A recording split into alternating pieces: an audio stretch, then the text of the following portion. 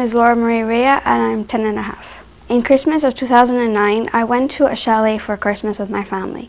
What happened was on the Christmas Eve, I went skiing with my dad and two of my cousins. There was a moment where Laura got out of my, my view and, and she went into an area that I wasn't familiar with as yet. When I turned the corner, um, I saw Laura, and, and, and when I skied up to her, I was calling for her, and she wasn't responding to me. And that's not like Laura. Laura Laura's very excited, and, and she, she's always, you know, wanting to tell you a story. And when she wasn't responding, I started to panic. So I basically skied into a tree, as simple as that.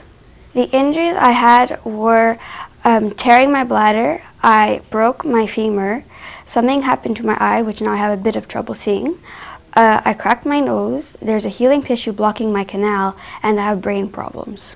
We went to the Montreal Children's, and when we got there, the trauma team was waiting for us.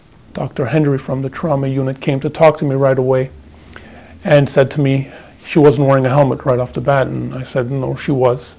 And he looked at me and said, okay. He goes, different conversation. He goes, let me see what we can do. And when he went into the trauma room, he didn't come back for some time. But when he did come out, he congratulated my wife and I and said that we had probably saved our daughter's life by requiring her to wear a helmet. Laura was seen by um, the speech therapist on a daily basis, um, just trying to get as much as they can. Uh, she was seen by the physiotherapist, and uh, the physiotherapist was, was, was interesting because uh, she, you know, she would she would really recognize the small moves that Laura would make as being positive. So it was encouraging for us. Um, she would take the time to talk to us and explain to us, you know, what Laura's feeling as much as she could possibly tell us. So that was helping us as well and also teaching us how to, you know, help Laura uh, in, in this process, you know, when, when she wasn't around, what we can do with Laura. They took a lot of time. The trauma coordinator came daily and asked questions and would also um, emphasize the importance of, of letting Laura rest. At first, you know, you worry about things as simple as Laura hadn't smiled in about 10 days or 12 days before she smiled again.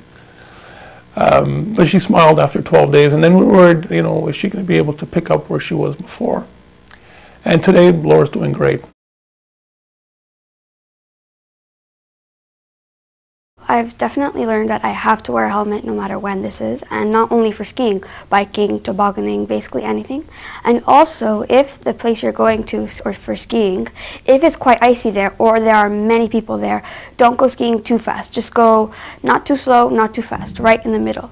The reality of what the helmet did for Laura hit me that very night and hit me every day since. I can't, I can't emphasize the importance of it enough. You know, when your child is bike riding up and down the street and they're just learning, it seems very simple.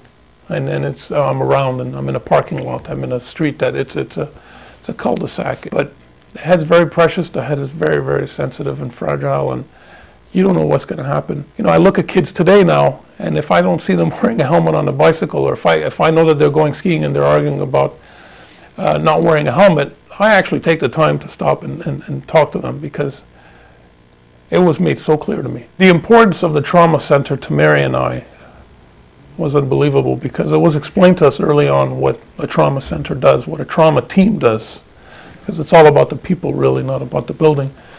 And there are so many, so many facets to this group, and, and, and every facet is so incredibly important I would like to say thank you to the Montreal Children's Hospital Trauma Center and anyone who works here.